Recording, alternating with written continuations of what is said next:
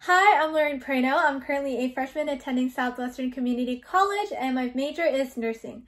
For as long as I can remember, I've always wanted a career path that revolved around helping others because that's my passion. So I decided to pursue in nursing.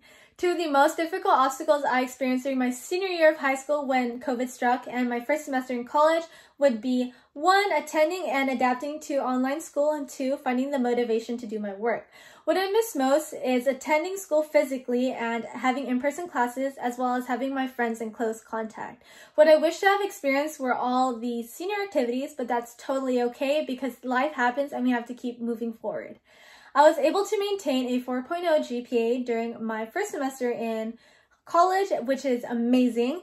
And I wanted to give a special thanks to the Special Operation Warrior Foundation for helping me ease my transition from high school to college and doing their best for their students.